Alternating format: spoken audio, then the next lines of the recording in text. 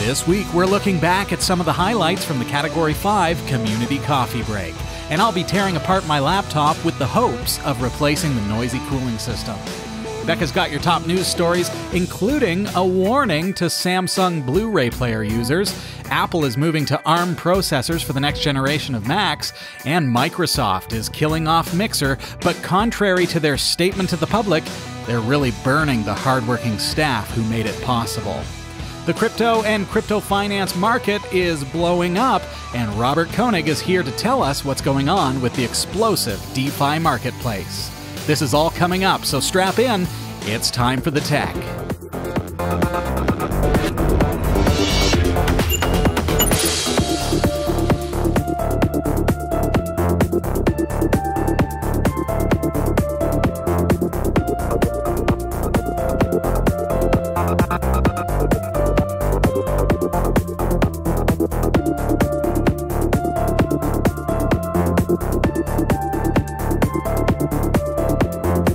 Our live recordings are trusted only to solid state drives by Kingston Technology.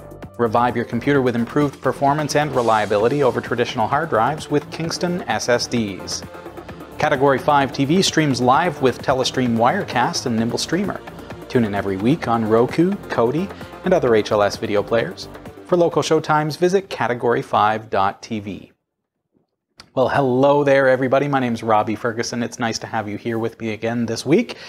And it's good to be here at Studio E.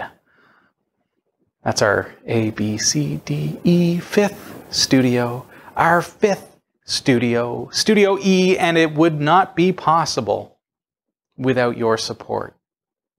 I want to especially say a big thanks to BP9, Scott Barkley, Ron Morissette, Jerry Kowalski, Jonathan Garby, Jens Nissen, Ameridroid, also Noman 5, and Bill Marshall, as well as NICAD, and everyone else who has supported Category 5 Technology TV through this entire time.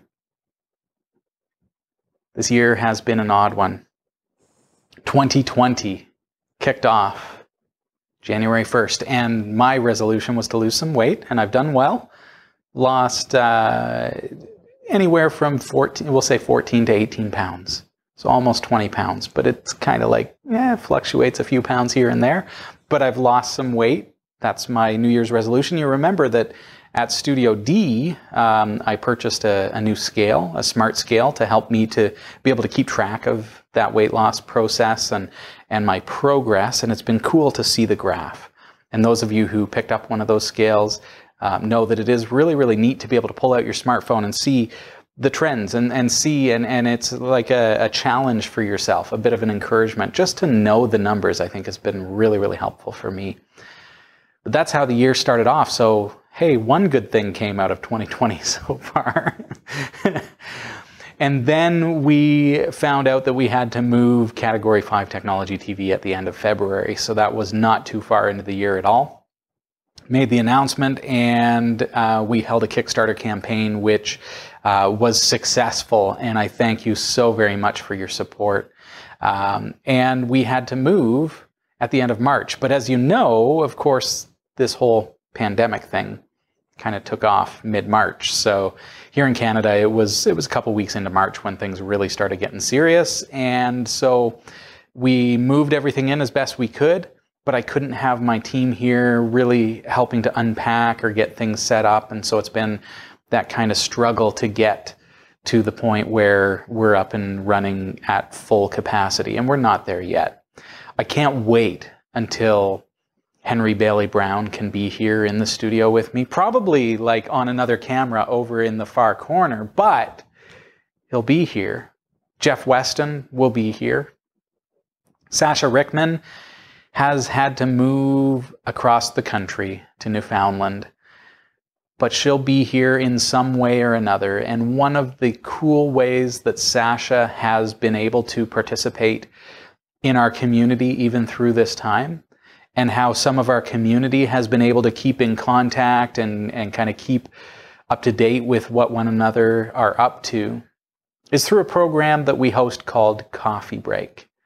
And our Category 5 community coffee break is held in general once a week. We do have the occasional exception, uh, including this week, because I am going to take my wife and kids away for the weekend, and I'm really looking forward to a little bit of downtime. I think we all need a little bit of respite every now and again, and this week it's it's time for for me to get the kids out of the house and and and go somewhere and just kind of relax and and spend some time together to just playing board games and things like that. Having campfires.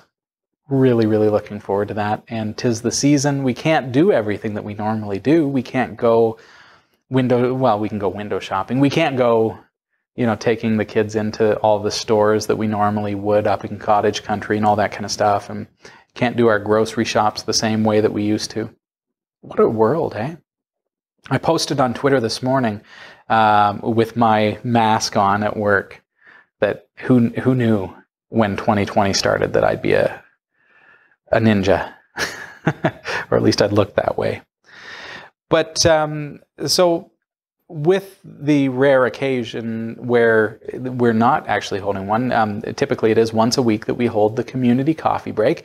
And the whole purpose behind that, and I'm talking about, you know, this is all that's been going on, and I know that everybody's been affected differently throughout the pandemic, but the coffee break was set up specifically to give us a place to go. Just like I'm going away to the cottage this weekend, it's a place for you our community, the Category 5 TV coffee break is a place for us to all get together and just go, just get away from it all. Just have some respite, some time to hang out with the community members and just be ourselves, have fun, chat about random things, the technology that has us excited this week, and not talk about the things that are bringing us down.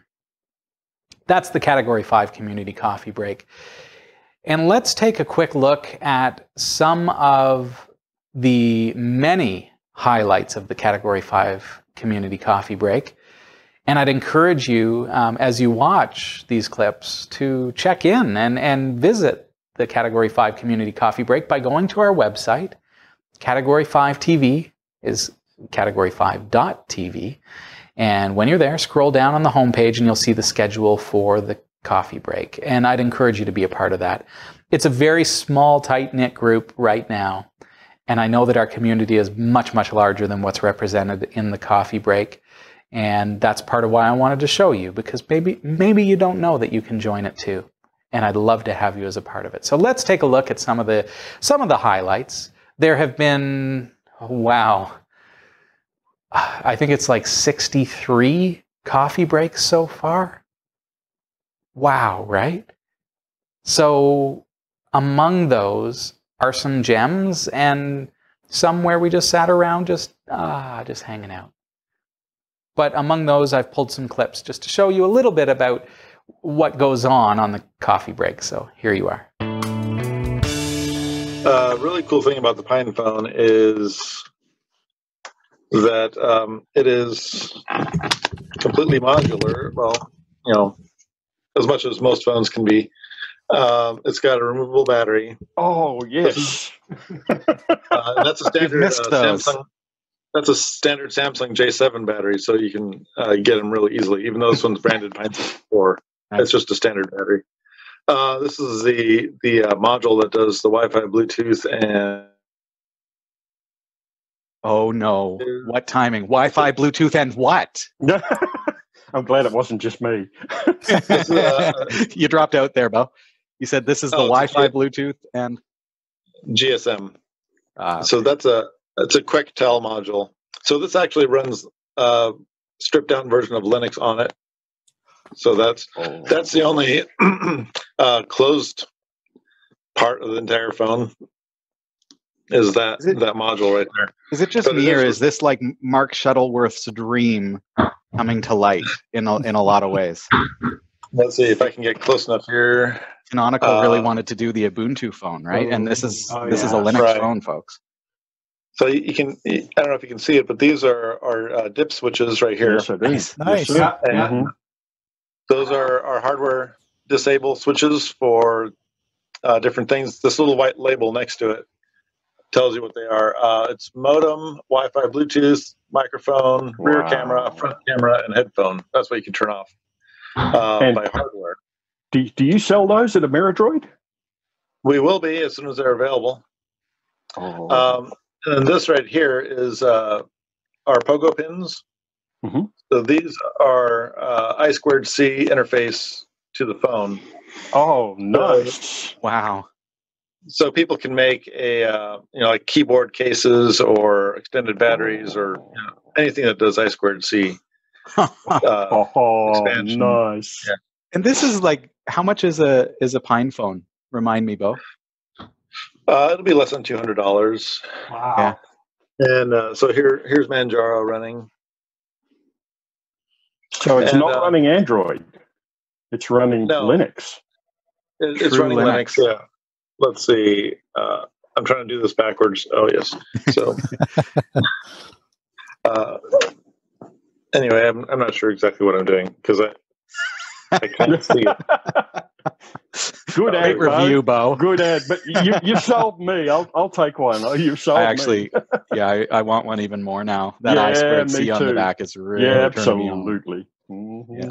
Yeah. Sorry, and today so I found I found the one of the um, um, uh, that was that I was planning to show, to show you yesterday, but I didn't find it. And then this morning I remember that oh I have one box tucked away in another room that I didn't look inside. Um,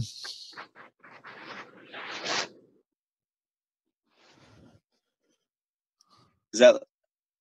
I thought it was a Game and Watch. Oh my goodness, Liam, come see this. Can you make a noise for me? Oh, Yeah, there it is. Making a noise. This one.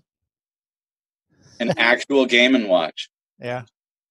Um, pre Nintendo. So that was what created the Nintendo. Yeah, it's it's from uh, 1985. I've had it. Um, had, I, I've had this one for uh, 21 years now. And I understand, like, if if that didn't happen, if that guy wasn't such a pushy salesman, it Nintendo might not have happened.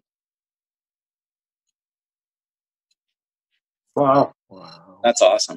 and it still works. I put Wow. in some, some fresh uh, batteries for, for, for, for today. You're cool, eh? That's Yeah. retro gaming right there. No, that was pre. Well, they might say Nintendo on it. Does it? Yeah, yeah, it does. Okay. Yeah, because uh, there were the two um, uh, two two vendors, um, and uh, I don't uh, know the uh, remember the name of the other one, but it it was a a, a clone of uh, uh, Nintendo, and I, I used to have one of the clones, and I had uh, the one. Um, um, it, it was um, uh, breaking uh, uh, uh, breaking out, out of prison. Um, it was a a searchlight going uh, all around, and you had to avoid the searchlight, and you had to avoid uh, two two guardrans, and then you had to walk up to to the um, uh, fence, and uh, the first one had to knock a hole in the fence and then escape. And yeah, I think I had my, my uh, all time high was uh, almost five five five hundred points. And at that uh, and uh, when closing um, uh, passing 400 points there searchlight was really going fast. I had that for uh, three or four years. And then um, we moved and i haven't seen it since. Um, if I recall correctly, I think Game and Watch was a device out of Japan that um, Yeah, Nintendo it's- didn't. it, They didn't create always- Nintendo already existed, but Nintendo would have folded if Game and Watch, the guy who was selling Game and Watch, came to them and said, "Please carry this." So they slapped their name on it, and it became a Nintendo product, and made Nintendo what what they became, I guess. Well, you're calling it a gaming. watch. Game, that does game not look like. watch and watch. Okay, so how does that thing convert to a watch? because it, it, it also has a watch so Does it have a clock at least? yes yes There you go. and it's, What's uh, GWG doing down there? We can't we can't see what you're working on because your mic isn't on. I see that. Oh, this? Yeah, This is my gaming system. nice nice. This is a little one. Uh, this I built three of these. This is the little one. There's a medium sized one that I built because my nephews were fighting over the fact there's only one controller on this thing. Oh, And then there is the full size arcade cabinet that I built for a friend after they saw the other two. sweet. Uh, Liam wants to show you guys his retro gaming console. Oh, is that the new one? Nice. Is that the new one? Right up to the. That's the uh, AtGames. Uh, this is the Sega Genesis. Hmm. Do you want to put on like Sonic? Show them how cool it is. Yeah, it's got like what about two thousand Sega games on it? I was hoping to get one of those new Odroids, but I gather it's back ordered. Hold it up to the camera. Oh, he's got Sonic running for you guys. Copyright infringement right here. Oh boy. You guys see that? Yeah, nice. Here he got his own. Nice. it's really hard to see on camera, isn't it? Yeah. There's Lot some glare or something. It's actually these things are awesome. That's cool. Nice, buddy. Those things are awesome. It takes an SD card, so you can pop a ROM on it, and it will it will boot the ROM. hey, uh, guess what happened this morning, guys? You'll never guess. Oh. The alarm I- clock uh, uh, worked. I, I got to work where I am now, and maybe 10 minutes later, 15 minutes after I got here, I got a phone call from our alarm company that uh, our alarm was going off at the, at the new studio. I was So going to say the alarm went off. I, I had a feeling it was something like Yeah. that. I was going to I was going to say it jokingly, but I'm glad I didn't. Yeah. So I my initial thought was, oh, okay, well there must be a false alarm. Like you know, we just had it installed on Saturday, right? So sometimes there's some kinks to to work out.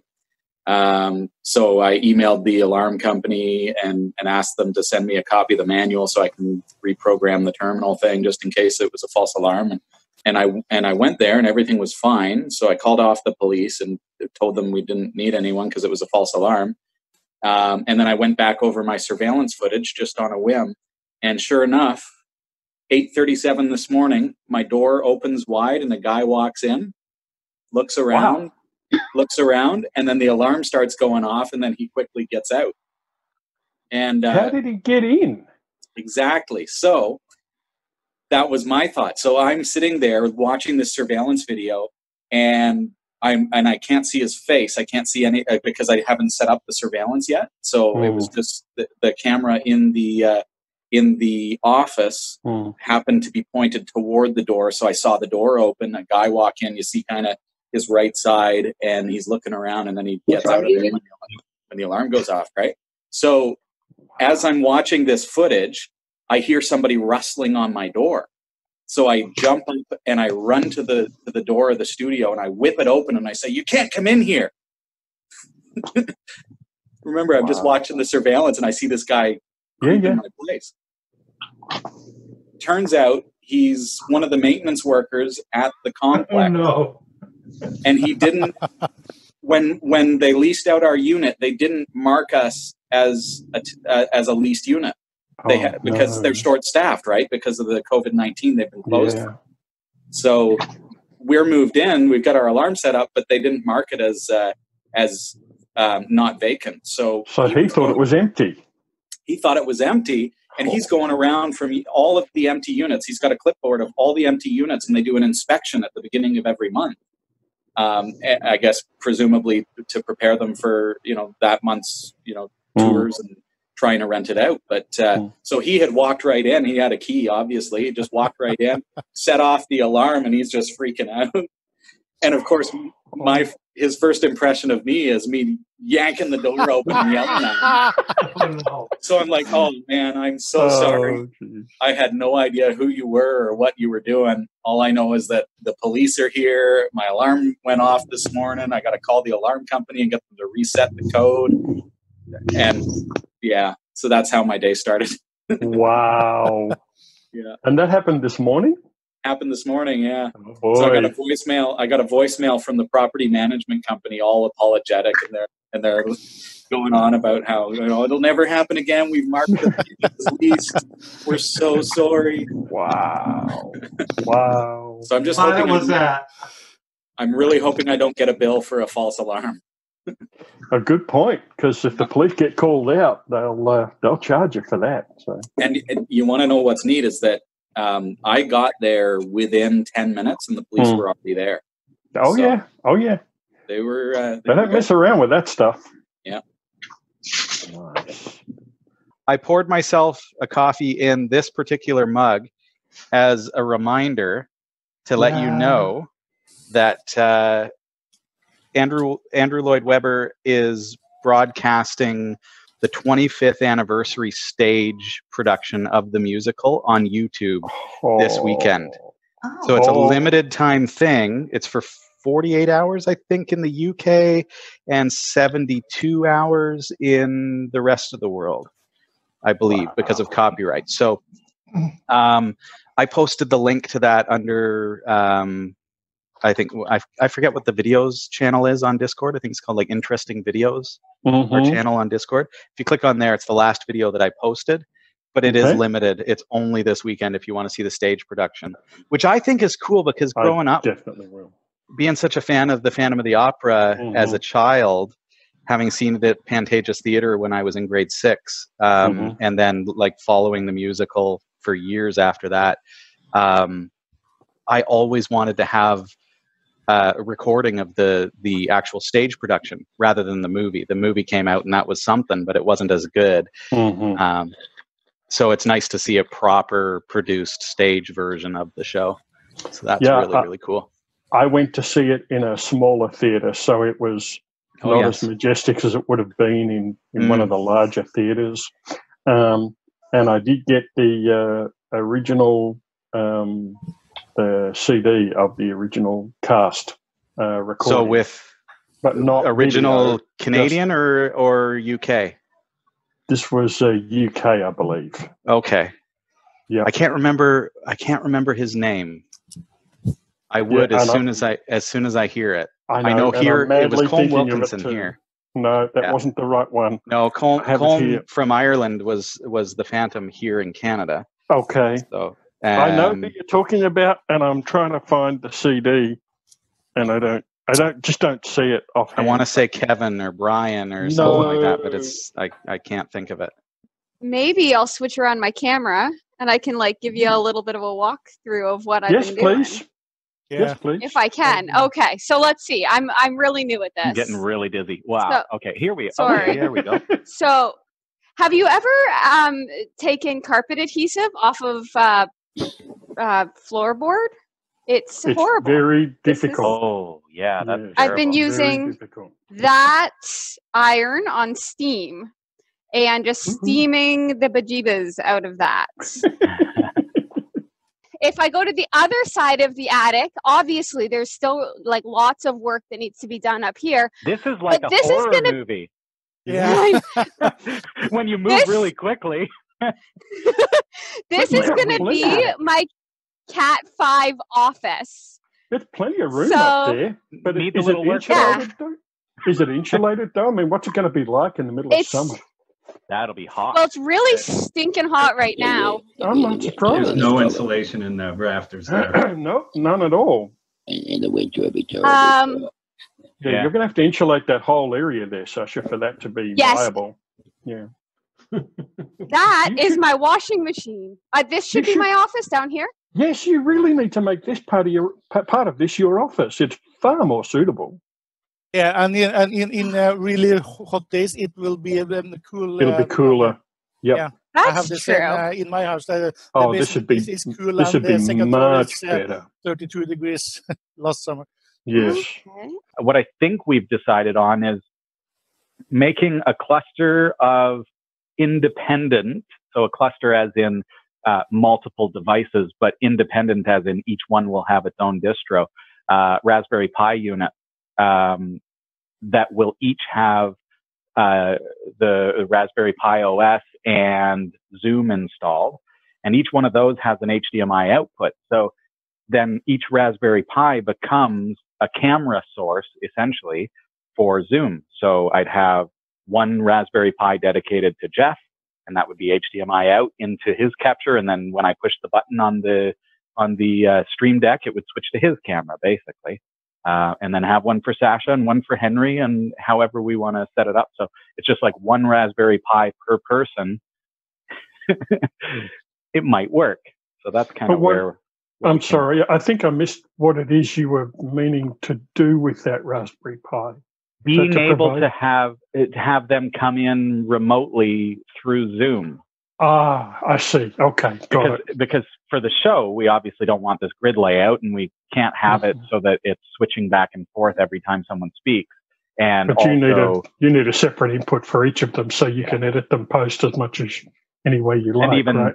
and even live we need to be able to switch to the person who's speaking manually Yes. and i and and people may not realize but um, zoom cannot be running on the broadcast system because it's broadcasting so that means the good camera that i use is out of it, basically it, so during the interview or during the conversation i would be on my phone which would be And you've terrible. done you've done this before, though, as I recall, because you you did the same thing. Um, not live Oh, good point. Yeah, okay. It- live changes Live is a hot. Yeah, friend. I was about to say and, the and same we thing. found that out Wednesday. We found that out when my PineBook Pro would not Yeah. work for the feature, and then so then signed off, rebooted, changed the way I connected things. I plugged the uh, I plugged the uh, Atomos Ninja Flame into the PineBook Pro and pushed the cord. hmm Worked flawlessly. So, so, So we then- need about a half a dozen Raspberry Pi 4 8 gigs. Yeah, exactly. So, so well, I think four would do it because four is as many inputs as I have. Oh, that's So- no fun. That's no fun. Yeah. so then we just uh, so basically that would allow us to treat each person on their Zoom connection as a as a camera source. So I think that could work, and it's probably a pretty good way to do it on the cheap. On the cheap, it's going to cost like you know four Raspberry Pis here in Canada is like six hundred bucks. So you know what? It's like two dollars. American, right? It's ridiculous. Robert said to me, because Robert's in Florida, right? And he's like, oh, Yeah. yeah, a Raspberry Pi, it's only 75 bucks for the new one. Really? $110 here just for the board. Yikes. Plus, you got to buy the power supply. Plus, you got to buy the case. I so don't when you're know all if- said and I'm not even sure I like would use a 200 bucks. I'm not even sure I'd use a Raspberry Pi for that anymore. I probably Mhm. you've already already been talking about the O- no, you've already been talking about the Odroid. Um, uh, what was it? C4, I believe. Yeah. I don't know. Yeah. I haven't looked yet. I don't know if they're any cheaper. I need to hit hit up Ameridroid and see uh, Mm. see what they've got. But Hmm, maybe that's like an the way option. you think. my yeah, problem I, my problem is clear. that Yeah. I really don't like how the Raspberry Pi and and and Marshman, you've you've seen this too, right? Um, you've seen where the uh, Raspberry Pi, if it loses power, uh, potentially that SD card just Yes. gets corrupted. You you can't Yeah. afford that, especially especially not live. So, you know, maybe That's maybe that's point. an option. But I, I don't know what the price point is though. So Maybe maybe just a bunch of XU4s with uh, with eMMC running a Debian distro with a desktop. Yeah, I like I like the way you're thinking. Yeah. And it's got HDMI out. I was strictly thinking, you know, I it, I just need a SBC with some H, uh, HDMI output. But you're right; Mhm. it doesn't have to be Raspberry Pi. nope. Um, you you need for it to work, especially when you're live. You can't afford to be having it break down unexpectedly on you. Not to not to say that they will, but um, if you lose mm. power all of a sudden, then yeah, you're going to have a Yeah, but if you, You know lose what? Power and the SD card corrupting is the least of your problems. But Yeah. it's true. It's a good point. Yeah, If my you're U- right. It's if true. my UPS is so weak it can't power four Raspberry Pis, I'm in trouble because Yeah, yeah, yeah, that yeah. R510 is going down. Well, you got a, re- a beeping UPS, don't you? I do, yeah. I got to get new batteries in that thing. well, yeah, it's it's a good powering. point. Uh, yeah, I, I threw it out there for in case it would be, uh, you know, just as a as a as an option. So Yeah, I like that idea. Uh, XU4s or uh, the new C4s, any of those would probably do just fine. It's really just plugging them in and and then seeing how they how they operate with Zoom and full screen. It's been so much fun getting to know certain members of our community. And I'd encourage you to become a part of our community coffee break as well. Just a great, um, usually weekly place that you can come together on a Zoom meeting and be a part of our community in that way. So I'd encourage you to check it out. Category5.tv. Just scroll scroll down on the homepage, and you'll find the schedule there, the past videos, everything else. And if you have any questions, join our Discord, and that is found by clicking on Interact, and then you'll see join our Discord server there at category5.tv. We've got to take a quick break. I'm going to mosey on over to the bridge, and from there, we're going to get into my laptop and finally finally fix the cooling system in that bad boy. Stick around.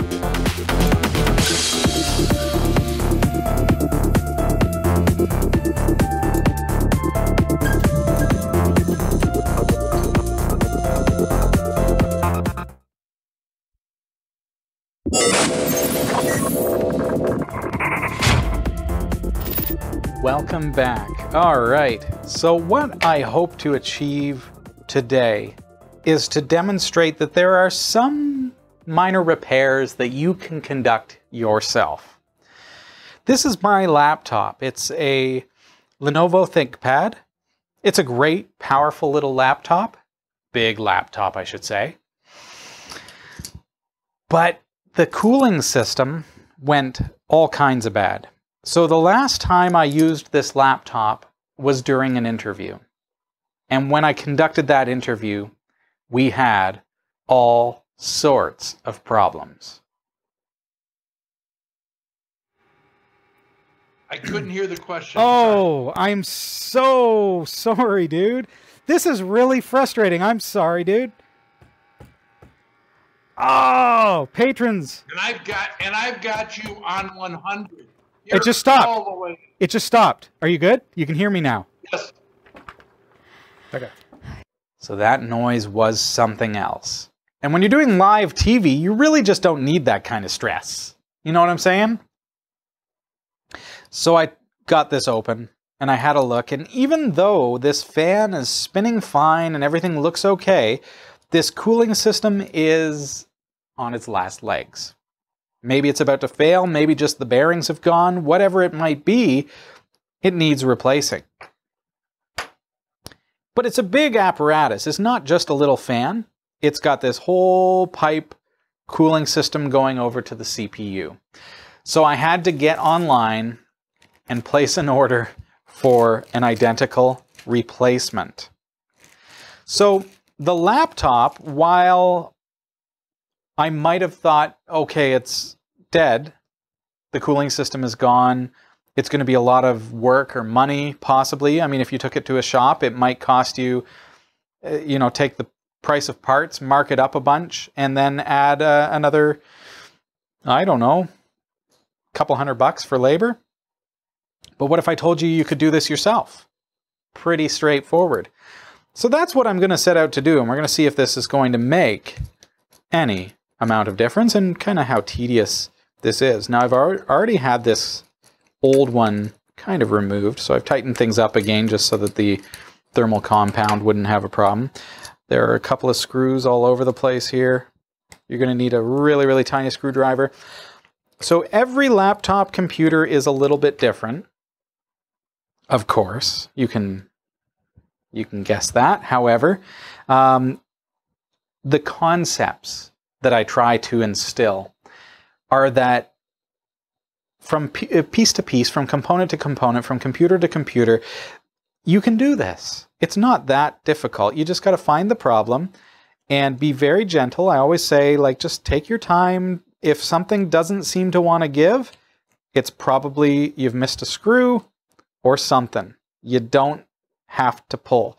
So right now, for example, I'm noting that there is a, there you go, uh, a wire that is not wanting to give, and it's because it's actually part of the computer, not part of the fan assembly. So you got to be mindful of that kind of thing. Never yank, never pull, and be patient. Gentle and patient. Now, before I get too far into my maker tech, let's get our maker on. So this is the central processing unit, the CPU of our laptop computer. So just like your desktop computer, you've got a CPU. You've got that brains chip of your computer. Now, ideally, you're going to have something like a lint-free cloth or perhaps some cotton or something like that to clean with. In pandemic times, we're steampunking it out and I'm using paper towel because it's all I got and it's all I can get because the stores are hard to get access to. So I just need to be careful that I don't get lint on that. So I do have 99% alcohol. This is a solvent that is going to help me to clean off all of this gooky thermal paste. So you can see how there's a bunch of sticky gunk on there, which is the thermal compound that is a conductive, uh, a, a, heat conductive um, compound to help to dis, uh, to make that good thermal contact between the heatsink and the CPU. So with some good strong 99% isopropyl or rubbing alcohol, I'm just going to very gently dab that off. So we're just cleaning off all of the old thermal compound because we're going to be applying some new. So this again is a, see that? This is a task that you'll be able to do yourself. And you can be confident as long as you're careful, because I don't want you to break stuff, okay? Um, you can be confident in doing this. Now, it's always a good idea to start with, if this is your first computer repair, start with something cheaper than a Lenovo ThinkPad. You don't want to do this on your main production computer. Start with things like a Raspberry Pi. This is one of the things that makes single board computers. Like here's a an Odroid XU4Q. Well, get yourself one. Go get one. Take that big old heat sink off the top there and play around with it. And don't be afraid to break it because they're super cheap. Get yourself a Raspberry Pi, which is even cheaper because it's not as powerful. And don't go with a Raspberry Pi 4 because that's not going to be cheap. Go with something like a 3B. And just use it as a, a test bed to be able to um, play around and not, don't be afraid to wreck it. It's okay to wreck things, but don't wreck your good laptop. You want to be mindful of that.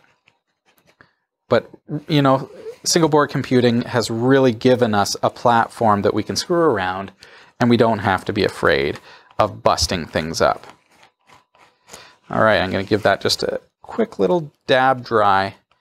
And I'm being careful not to leave like chunks of paper towel behind because paper towel is not the ideal thing. It works. Some people are saying, oh, don't use paper towel. Well, it works. It's makeshift. It's pandemic, but it works. And there is my CPU now. So it's nice and clean and it is ready to receive the new cooling system and some good new thermal compound. All right, so here's our cooling system that I picked up online. And incidentally, buying the parts myself was significantly cheaper than getting the parts through a local computer shop. And I'm not afraid to goof around. There we are. Again, don't force things. Take your time. There it is. So here's the original. Here's the new one. Can you tell the difference? All right, so we want to take a peek at this. It looks like they have some thermal compound added to the block, but it has a piece of plastic over top, I believe. I'm just going to confirm that. Maybe not. Maybe it's like a a solid kind of thermal sticker. Yeah, it is. So what I want to do is I actually want to grab a tube of thermal compound that I've chosen, and you can pick up some of this like online or at your local computer shop if they're open. And you just want to get some dabs on there right on the processor. This is going to give us a good thermal contact between the two. Whoa, did that ever come out fast? That was not intentional. It doesn't really matter you want to just have a little tiny doppel there because as soon as I stick that down, that's just going to go, which is fine. But it's a little bit messy. All right, so now I want to remount this, the new one. So I'm mounting the new one exactly as the old one came out. And that is going to go, let's see here, right over top of the CPU. Let's grab our screwdriver and start screwing that down so that that can get a nice thermal linkage between the processor and the, the um, copper cooler. So I'm just tightening them about a third of the way just to get it affixed. And then I'm going to tighten it right up. There we are. See, there's nothing overly complicated about this type of repair. Things like upgrading your RAM. You can see that I've got an extra RAM module slot here. So if I wanted to, I could buy an identical RAM uh, DIMM here and put it here. And then I'd basically get twice as much RAM if you wanted to do an upgrade. This is my hard drive. If I wanted to upgrade the hard drive, put an SSD in there, I could replace that with an SSD and then reinstall my Linux Mint. Uh, what else could I do? Here's a battery for the CMOS, the, the memory. Um, so I could replace that if I ever start losing um, memory, which happens after the battery gets old. This is the Wi-Fi chip here. Um, what else do we need to see? Like, it's like there are so many components here that are so easily accessible that I could repair myself, which is brilliant. All right, so now I need to just give this a little bit of a, a shimmy there because it's never been in a computer, so it's just a little bit off on its fitting. But it looks great. Perfect fit, really. If I can get this final screw to go in. Oh! Remember, just take your time. It's not like you're doing a TV show and you need to make it look like you know what you're doing. there it is. So that is strapped in. Okay, so now we've got our fan in place. We've got this guy here, which we need to, so this is the cable that uh, was affixed to the other one. It looks like they've already included like a double-sided sticker here, an adhesive to reapply that to the new fan. That's kind of cool. So they've thought of it all. And then that's going to go right here. Whatever this is, it might be video or audio or some crazy thing connecting into the board. I'm not too sure. As long as you put it back the way it should go, you're golden.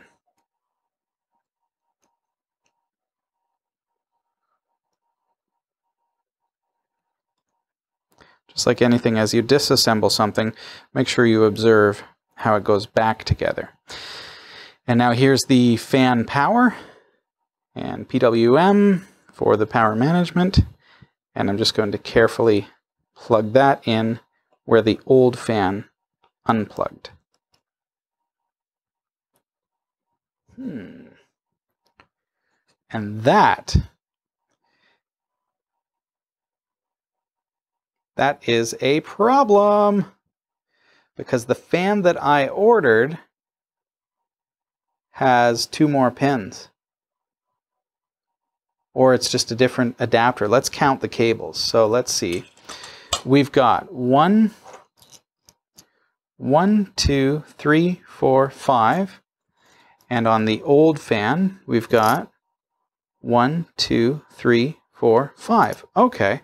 So I'm going to have to do a little bit of a modification here in order to get this fan to be able to connect to this power supply, which is fine, except I have a problem.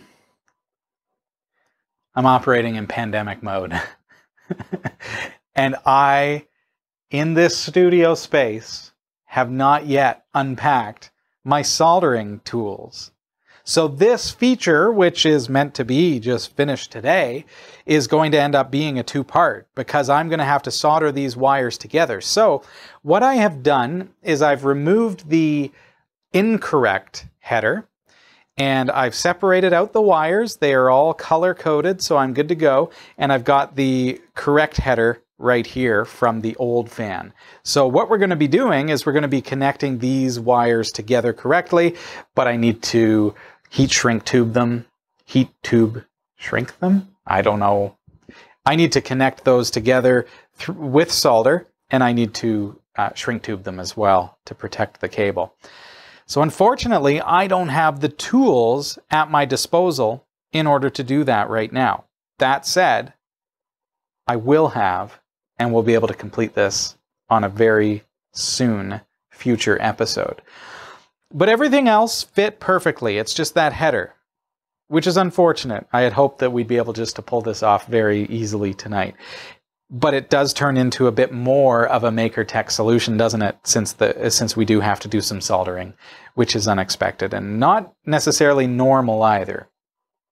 Um, they must have changed the header at some point or made some kind of change to that header to make it so that it's not the right size. Uh, but we'll fix that. And that's one of the things too is that you can take cables and you can splice them and, and make them work together. And that's uh, one of the exciting things about doing MakerTech is that you can make things work that generally otherwise would not work. And then you can make them, you know, you save yourself a boatload of money when you can do it yourself. But at this point, we've got to call it quits on this. So watch our channel, category5.tv, for part two of the fan replacement series. And on part two, I'm going to be soldering these cables together. We're going to be shrink tubing them, and we're going to fire it up and uh, see how things work and see how that cooler has improved. In the meantime, we've got to head over to the newsroom. So here is Bekah. Here's what's coming up in the Category5.tv newsroom. Samsung Blu ray and DVD players around the world are bricking themselves automatically. FIFA 21 will be the most realistic yet. Space exploration company SpaceX applied for a license to offer satellite-based service to rural areas in Canada. Google has quietly launched an AI-powered Pinterest rival named Keen. Apple is moving to ARM processors, and Microsoft's Mixer streaming platform is dead. Stick around, the full details and this week's Crypto Corner are coming up. This is the Category 5.tv newsroom, covering the week's top tech stories with a slight Linux bias. From the newsroom, I'm Bekah Ferguson. Samsung users unplug your Ethernet. Millions of Samsung Blu ray and DVD players are being bricked all around the world. Entertainment has become one of the biggest tools for keeping sane during these trying times, but while many companies are aggressively pushing their streaming services, others still prefer owning the media they buy in physical form. That mostly means DVDs and Blu-ray discs, which of course require appropriate devices to play them. But what if those devices all suddenly stop working for no apparent reason? That's the rather eerie and frustrating situation that owners of Samsung Blu-ray players are now experiencing, experiencing around the world with no answer or solution yet in sight. There doesn't seem to be any common denominator other than the fact that it's happening across a number of Samsung's Wi-Fi or Ethernet connected Blu-ray and DVD players. It doesn't appear to matter which model. The most common behavior reported is that the players reboot themselves after a few seconds, causing an inescapable boot loop. Others have reported hearing noises as if the players were reading empty disk slots. Given the mysterious and sudden appearance of the bug, some people have different theories on what caused it. Some blame an overnight firmware update, but the range of devices covered is so wide and random that it seems less likely. Some believe it may be an expired SSL security certificate in the firmware, which could explain why no amount of resetting the device to factory settings seems to work. Unfortunately, Samsung remains unresponsive despite the growing number of complaints, possibly due to how it happened during the weekend. Given global conditions, it's understandable how owners are not so amused, especially if it will require them to turn in the device for manual servicing. FIFA game developer EA Sports promises that the next generation version of FIFA 21 will feature new technology to make it the most realistic yet. The FIFA series remains one of the most popular video game franchises in the world. Next year's entry will release for both existing consoles as well as the new Xbox Series X and PlayStation 5. But EA says the newer consoles will take advantage of more advanced technology. Despite regular criticism that the annual game is often very similar to the previous year's entry, it had sold over 260 million copies as of 2018. EA says its newest title will feature more lifelike player movements, which it says will be the most authentic character behaviors uh, ever seen in sports video games. The next generation editions will feature significantly reduced loading times and the PS5 version will take advantage of haptic feedback on the console's DualSense controller. New rendering and lighting techniques will also help to increase the overall realism of the game. Fans in the stadium stands will also be more interactive, even participating in celebrations. FIFA 21 will be released worldwide in October before the new console's launch. The PS5 and Xbox Series X versions with their advanced features will be available later, but EA is offering a path to players who buy the game on the previous generation early. Sadly, Nintendo Switch gamers won't get to experience any of the franchise's new models or gameplay innovations. The lower powered portable console will instead get a Legacy Edition release that will include only new kits and teams and an updated menu and overlay system. EA has promised to reveal more about the game in the coming months. Elon Musk's SpaceX has applied to offer high speed internet to Canadians living in remote areas using satellite technology. Last year, SpaceX has launched more than 500 satellites into Earth orbit to build its Starlink mega constellation, which aims to make satellite internet available from practically anywhere on the planet. SpaceX applied with Canada's telecom regulator, the Canadian Radio, Television and Telecommunications Commission, CRTC, for what's known as a Basic International Telecommunications Services or BITS license. That's a requirement for any company that wants to offer what the CRTC calls telecommunications traffic between Canada and any other country. If they are successful in getting a BITS license, that means SpaceX, whose formal company name is Space Exploration Technologies Corp., could theoretically try to offer more wireless telecom services down the line, such as voice and data plans. But for now, the application focuses on high speed internet beamed directly into rural homes and businesses via the company's existing network of so called near Earth satellites. Canada is far from the only place SpaceX is trying to offer internet service. The company is planning to offer high speed internet services in the United States later this year through a subsidiary known as Starlink before rapidly expanding to near global coverage of the populated world by 2021, as they say on the company website.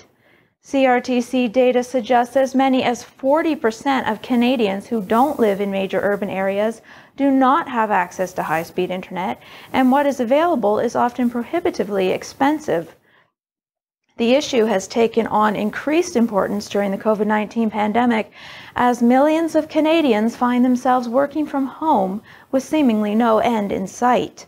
The application was filed in May, and the, and the deadline for public comment was last Friday. More than 1,200 Canadians have weighed in on the proposal, a large number of them in support of it. Elon Musk says the new service won't require a special installer. There's just two instructions and they can be done in either order. Point at sky, plug in.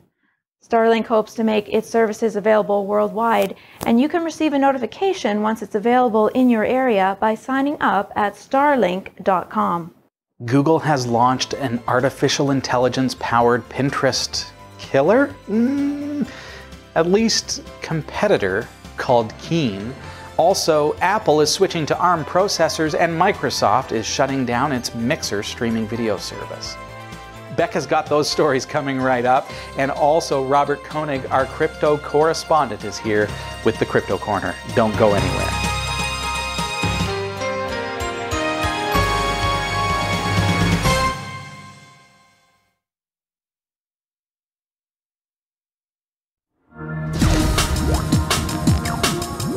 Welcome to the Crypto Corner. This week we've got some interesting news for you. But as usual, let's start looking into the market. How did the market perform in the last seven days? As we can see, no big changes here. Last week it was at around 274 billion. Today, or currently, it's 278 billion. Uh, Bitcoin had an increase of 2.4% in the last seven days. But if we sort this year by seven days, we see suddenly compound increasing by 292%. There are over 20 coins that had an increase of over 15%. And on the downside, only two coins lost more than 15%. So what happened here? Why is there suddenly such a big change? And if we look into the DeFi market cap, because Compound is part of the DeFi market, we see that most of those changes are coming from uh, Compound. So last week I showed you this uh, this chart, and it was at 2.3 billion. Now it's 6.7 billion. As you can see, most of that is coming from Compound. Now let's dive a little bit deeper into this here and check what happened. And if we take a look at the Compound plat uh, platform, so compound.finance, we see it's basically like a bank. So you can supply money to the environment or you can borrow money. And in the case of, let's say, uh, basic attention token, you will receive 27%. And if you borrow money, you have to pay 34%. So far, everything is fine. Now, last week, uh, Compound was listed on Coinbase, and that caused a huge increase in price. And because of that, this environment went absolutely crazy. And the reason is that every time you take out a loan or receive money, you'll be compensated with COMPS, which is the native token of uh, this platform. So you'll receive money, in other words, if you take out a loan. And to check that, there's another website called uh, predictions.exchange. And if I say I want to have 1000 here, so enter 1000 uh, basic attention token and I do calculate, then I see that I will receive on top of those thousand dollars, I will receive 17% uh, interest. So I don't have to pay interest. I will receive 17% interest. Now, some people are clever and they take that money and put it back into the system. And that's called uh, yield farming. And with yield farming, you can achieve um, uh, interest of uh, over 100%. Now, I have to clearly say at this stage, so it's a huge disclaimer. What you're hearing here is not financial advice. This is a very young industry. Um, it's guided by software, and there are plenty of bugs in software, and also it can be hacked. So it's a very risky uh, environment, and if you don't understand the details of what is happening here, please do not invest any money. Even small amounts can be dangerous because the fees uh, can be as high as $15 for one transaction. So just to give you an example of why uh, one has to be careful, here's somebody that put uh, money into the system and took out, so he was doing yield farming, and then suddenly realized that he had much less money available, and the reason is that he was liquidated because of uh, the interest uh, that he didn't consider. And this is a hard environment. It's guided by software, and um, if you don't have enough collateral in the system, you will be liquidated. There's nobody that will call you and say, "Hey, you need to put money in this year, so you're not you're not liqu- you're not being liquidated." And that's why you have to be really uh, please be careful. I'm showing this to you because DeFi, as such, is a market that is uh, coming. As you can see, it's completely different to what you are accustomed to as a bank customer but it's the future. Yeah, it's decentralized, which means there is no entity behind this here. It's completely autonomous uh, from any federal uh, institution or financial institution, and it's global. So everybody in the world can participate here. In other words, you can be your own bank by putting money into it and taking money out. But as mentioned, you need to understand what this is about. And so as long as you don't understand things like what is Aave? What do they do? What's uh, WBTC, Wrapped BTC, REN BTC, uh, DYDX, uh, Wrapped ETH? All those things. If you don't understand what ha is happening here, um, please don't put money any money into that. Um, there's no there's no customer service that you can call in case uh, something goes wrong. But as mentioned, this is the future. this is where finance will go to because uh, it cuts out the middleman, it cuts out the bank, um, and uh, you can do business directly, and it's secured because it's secured through the Ethereum blockchain. So um, more to, more is to come in this in, uh, industry. More is going to be invented, and yeah. Anyway, that that's it uh, from uh, me um, this week. Mm, I hope you enjoyed this uh, short uh, excursion to the DeFi market, the news of on what's happening there, and uh, thank you very much for watching. And I hope to see you next week again. So thank you. Bye bye. Well, thanks, Robert. Always appreciate your insight. Uh, just a reminder for those of you watching at home, we are not providing basically financial investment advice. What we're doing is we're giving you the information about the cryptocurrency market and leaving it up to you to make the decisions. And now, back to Bekah. Thank you, Robbie. Google's Area 120 team, an internal incubator that creates experimental apps and services, has launched Keen, a would-be Pinterest rival that draws on the search giant's machine learning expertise to curate topics. Available on the web at staykeen.com and on Android, co-founder CJ Adams says Keen aims to be an alternative to mindlessly browsing online feeds. Adam writes in a blog post, on Keen, you say what you want to spend more time on and then curate content from the web and people you trust to help make that happen.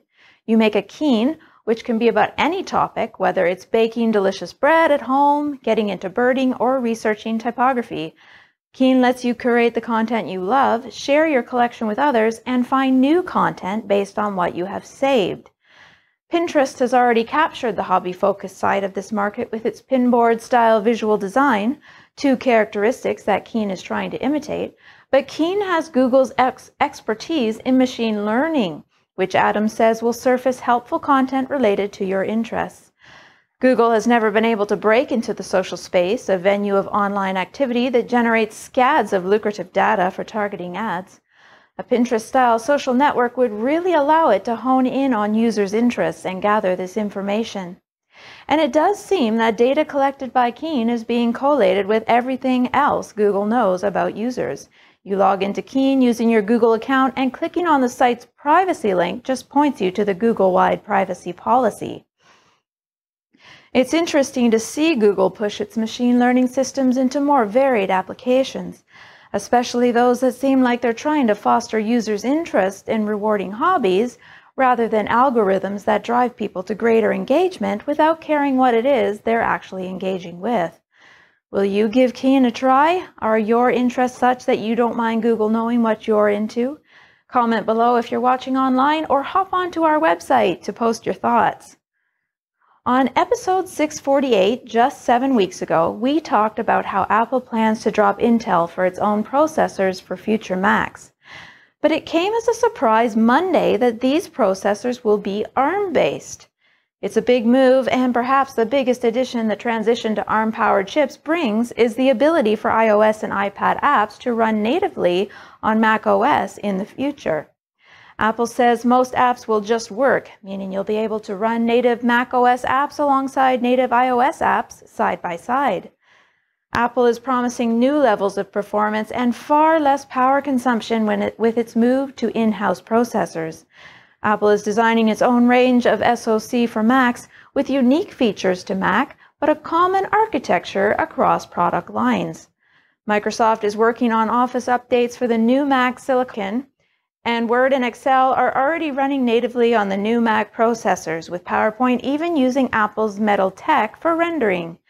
Apple has always been also been working with Adobe to get their photo editing apps up and running on the new chips macOS Big Sur will also include a new version of Rosetta.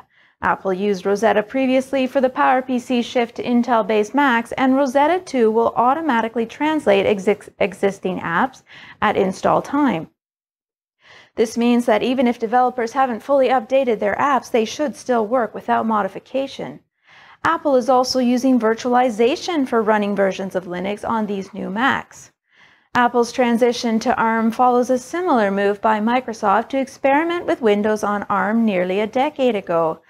Microsoft started this work ahead of the Windows 8 release in 2012 and even released the Windows RT operating system that was designed for ARM based hardware. Microsoft has since transitioned Windows 10 to ARM as well. Apple will release the first Mac with Apple Silicon at the end of this year, and it expects the transition to take two years. New Intel powered Macs are still in the pipeline, so Apple isn't moving exclusively to ARM based Macs just yet. Microsoft is shutting down Mixer, its video game live streaming platform, in a move that will affect streamers from Tyler Ninja Blevins on down. In a statement released on Mixer's official blog on Monday, the streaming service announced that it will be shuttering its operations side and will help Mixer streamers transition to Facebook gaming. Starting on July 22nd, Mixer.com will redirect to FB.gg. In a similar statement on its blog, Facebook Gaming noted that Mixer streamers that choose to move to Facebook Gaming will be matching partner agreements as closely as possible. Most famously, Ninja had signed an exclusivity deal with Mixer in August 2019 for reportedly around 20 to 30 million dollars per year. In an interview with The Verge, Microsoft's head of gaming, Phil Spencer, said that the move to shut down Mixer was a strategic one. Spencer said, it wasn't as much about return on sell, it was about finding a partnership partnership that was the best things for the community and streamers. We think this is it and it gives us a great place to launch more xCloud content and give gamers the ability to play from there. While media is focused almost entirely on the result to streamers, the fact remains Mixer is closing down without so much as notifying its staff. Trust and safety staffer Jazuki said on Twitter Monday, Guys, we had no clue. I found out with the rest of you. I am devastated. I have dedicated all I have to this platform, and this hurts immensely. According to Microsoft, Mixer's intellectual property and staff will be transferred to the Microsoft Teams division on July 22nd, but Jazuki make it sounds like that's not the case at all. She's tweeting a call for employers to reach out to her if they're looking to hire a strong-willed, empowered female who focuses on efficiency and high productivity with a team mentality. And she retweeted I am Brandon, who said there are a lot of people out of jobs now due to Mixer closing during a pandemic, what the HELL. Launched in January 2016 as Beam, Mixer was renamed after its acquisition by Microsoft in 2017. The platform's attempt to compete with Twitch resulted in the signings of major Twitch streamers such as Ninja and Shroud for huge monetary deals. Despite these moves, Mixer was unable to significantly approach Twitch's larger audience numbers. Big thanks to Roy W. Nash and our community of viewers for submitting stories to us this week. Thanks for watching the Category5.tv newsroom. Don't forget to like and subscribe for all your tech news with a slight Linux bias. And if you appreciate what we do, become a patron, patron at patreon.com slash category 5. From the Category5.tv newsroom, I'm Bekah Ferguson.